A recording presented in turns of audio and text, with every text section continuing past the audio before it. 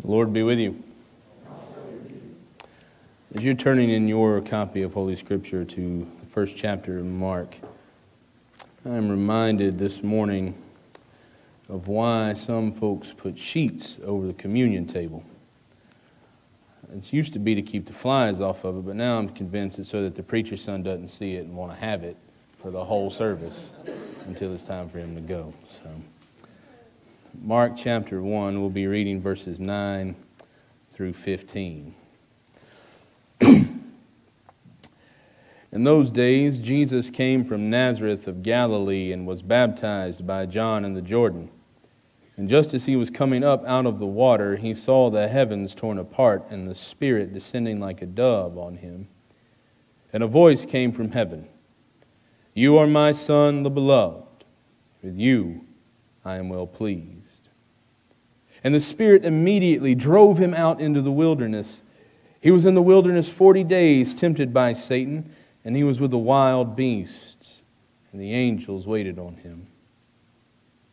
Now, after John was arrested, Jesus came to Galilee, proclaiming the good news of God and saying, The time is fulfilled, and the kingdom of God has come near.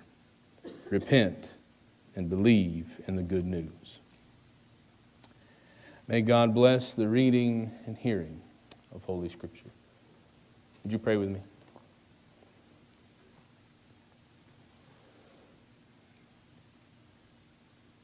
And now, God, as we come before you to hear a word from you, God, we pray that you clear our minds of whatever, whatever stumbling blocks may be in the way. Give us clear ears, Lord, that we may hear your word. Open eyes that we may see you. See you calling us ever on in the work of the kingdom, ever deeper into relationship with you. And God, speak to us through these words of Holy Scripture now. We pray in Christ's name. Amen. Well, time I used to think time was a simple thing, uh, really something I took for granted. Like the rest of you, I hope at least, I learned in school about time. I learned that it's measured in seconds, minutes, hours, days, etc. I learned that 60 seconds makes a minute, 60 minutes make an hour, but 60 hours don't make a day. It throws you off, right? 24 hours make a day. 365 days make a year, but technically it's 365 and a quarter days make a year. We play catch up every fourth year and call it a leap year, you know. Time moves, well, time moves at a steady pace. At least it seems that way to us. Galileo called it the flow of time. I mean, the second hand on my watch doesn't move faster or slower from one tick to the next, it just is constant. Newton even measured time that way. And that's how most people understood it until this German physicist in the early 20th century came up with this theory about how time is actually relative. That it's this relative dimension, really, of this greater fabric called space time, and that time can be subject to the speed of an object or even to an extreme gravitational field like a black hole. But you all knew that, right? Now, don't ask me how all this works. I don't know. Einstein's theory of relativity revolutionized the way we observe and understand the universe. But the thing is, I've heard people talking about how time is relative my whole life.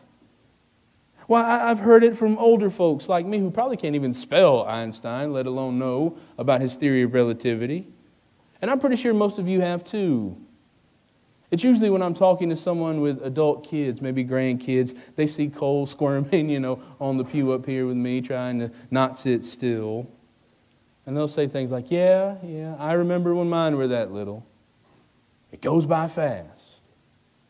Those years always seem to go by faster, they say. But do the younger years of children really pass by quicker than the later years? Or, or what about every December? You all probably hear it, probably say it yourself too, right? Inevitably, someone will say, I swear Christmas comes faster every year. But does Christmas arrive faster? Or does it just seem to arrive more frequently as we experience more of them? I don't know. I don't know if time speeds up or slows down really. But I do know that time is a fickle thing. Takes too long to pass when we're waiting on something. Passes too quickly when we're trying to hold on. And it never moves backwards. But what does it mean for time to be fulfilled? What does Jesus mean when he says the time is fulfilled? There's an awful lot that goes on in these six verses in the text we've read this morning. In just five verses before Jesus shows up in the Galilee preaching, the time is fulfilled. For starters, Jesus is baptized by his cousin John in verse 9. In those days, Mark says, Jesus came from Nazareth of Galilee and was baptized by John in the Jordan. And that's it. We're not told how deep the water was, how cold it was, nothing. Mark doesn't give us the exchange that we find in Matthew's gospel, the whole Jesus coming down and John saying, You come to be baptized by me? Oh, no, no, no. I should be baptized in you. It's not there. We don't get the detailed account of who all's waiting in line like in Luke's gospel. Luke says when all the people were baptized, the rich, the religious, the poor, the soldiers, it's not there. All Mark says is Jesus came and was baptized by John. There's no detailed account. Mark has things to do. Jesus has things to do in Mark's gospel. When the second hand ticks in Mark's gospel, it's with a quick and thunderous reminder that there are things to do, places to go, and people to heal. That's why we move from this little staccato story of baptism directly to the proclamation from God in verses 10 and 11. Just as he was coming out of the water, he saw the heavens torn apart, the Spirit descending like a dove, and a voice from heaven You are my Son, the beloved. With you I am well pleased. The sky literally schizo, it rips open. The Spirit of God descends, and Jesus hears the voice of God affirm his sonship. And you might think, you might think that we'd stay in this place for a while maybe savor this miraculous moment. But no. It's almost like Jesus' hair is still wet from the Jordan when he's driven into the wilderness by the Spirit. And he's there for 40 days, a nice round Bible number, tempted by Satan with the wild beasts and angels wait on him. Mark doesn't have the detailed ex- description of this exchange between Jesus and Satan in the wilderness. No remarks about turning stone to bread. No, no being shown the kingdoms of the world. No jumping off of temples like in Matthew and Luke's account. There's nothing. Just nothing. Mark does not have that kind of time. We got to get moving. So Jesus has endured his temptation with Satan, survived the wilderness with all of its wild beasts, had angels wait on him. But before he can mount sort of his comeback narrative, before the rocky music can play as he walks slowly out of the wilderness, before he has a chance to have a renewed sense of mission and a steadfast determination to do what God has called him to do, he gets the bad news about his cousin. John was arrested. His cousin, his forerunner, the one who cleared the way, setting the example, going ahead of him, has been arrested. And this isn't, this isn't just a little slap on the wrist. He's not going to spend a night or two in jail. There's no fine to pay, no parole hearing. This is the end of his life. John has been arrested. And it's only in the wake of that news, only in the wake of the news of John's arrest, that Mark says, Jesus came to Galilee proclaiming the good news of God. Straight to work. No time to visit John in the slammer. No time to take John's one phone call. No time to figure out when his court date is to drop by. Nothing. The proclamation of God's good news. That's the priority for Jesus. And it's the nature of that message that catches my attention this morning on the first Sunday in Lent. The time is fulfilled, and the kingdom of God has come near. Repent and believe in the good news. The time is fulfilled.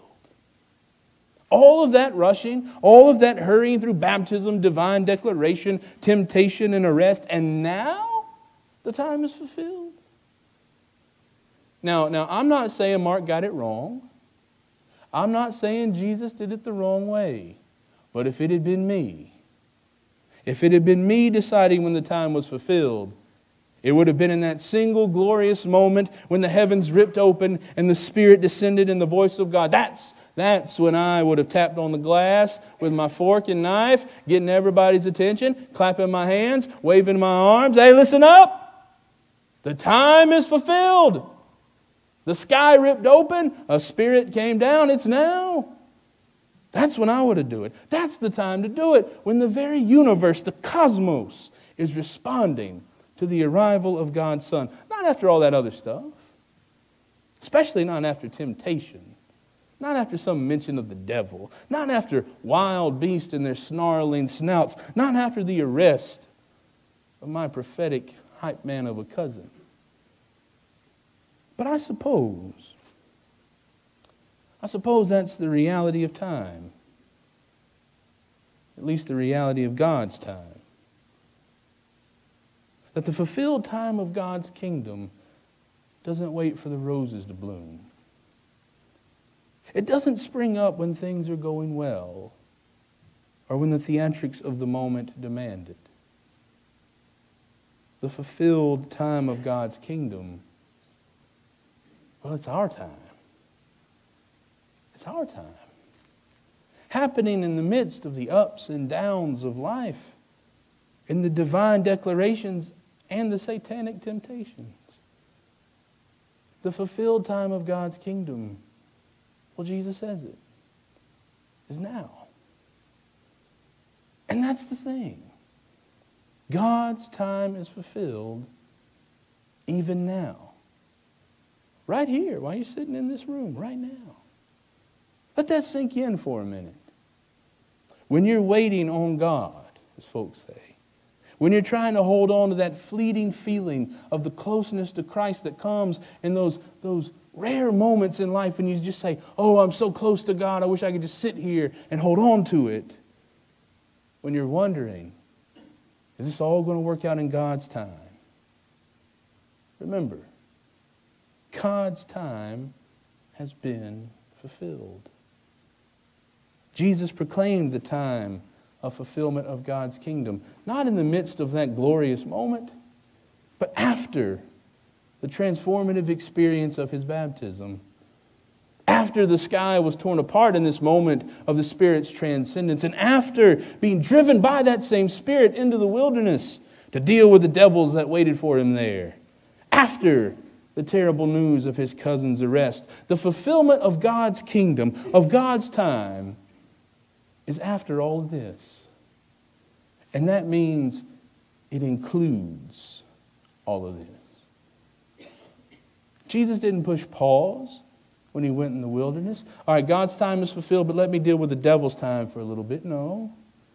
He didn't cut out the part about John's arrest. Well, the time is fulfilled, except for that business with John. We'll deal with that later. No.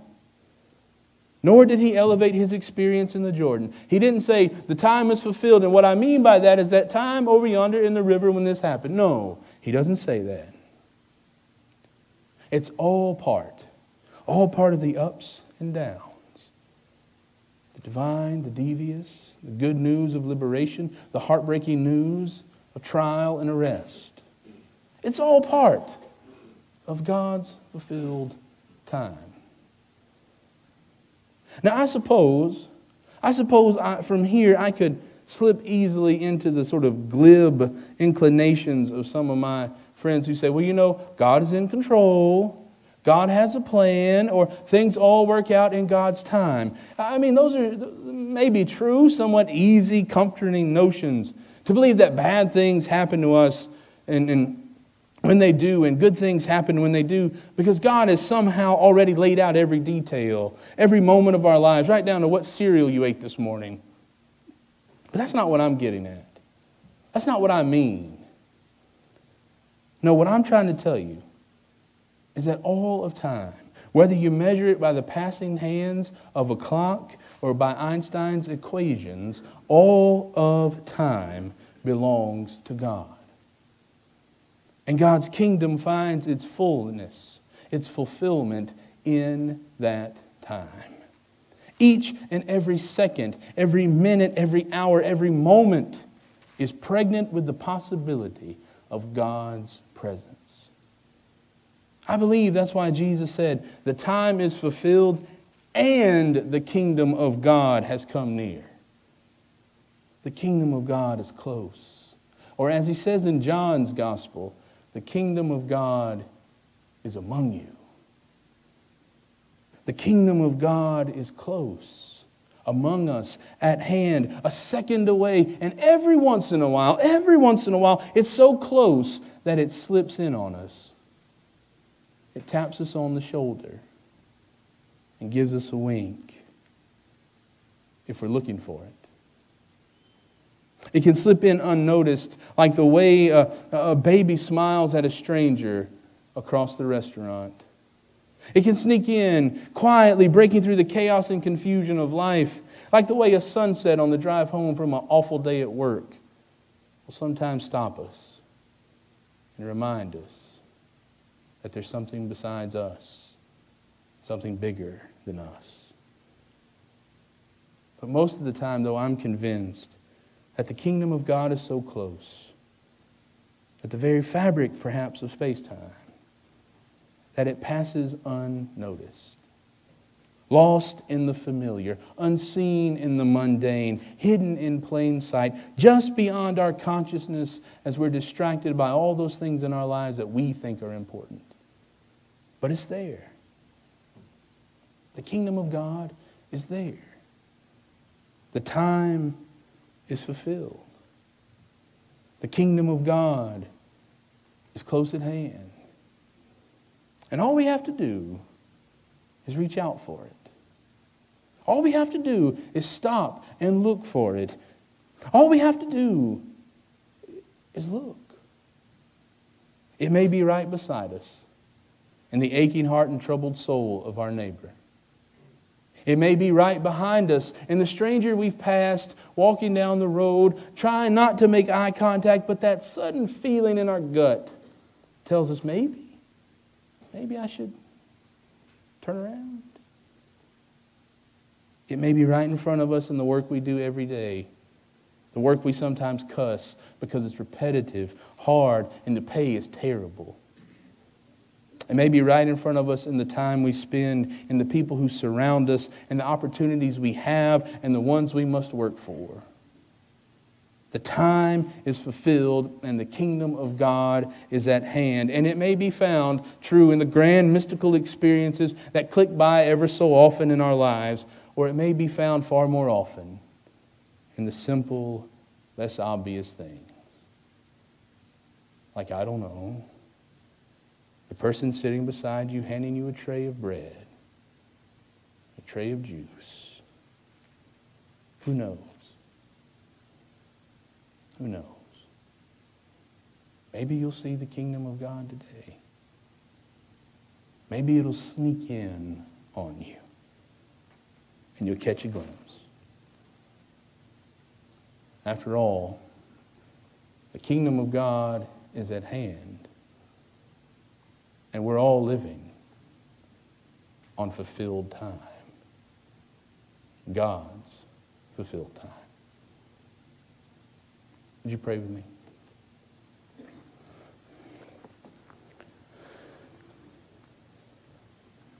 Lord Jesus Christ, Son of God, giver of the Holy Spirit,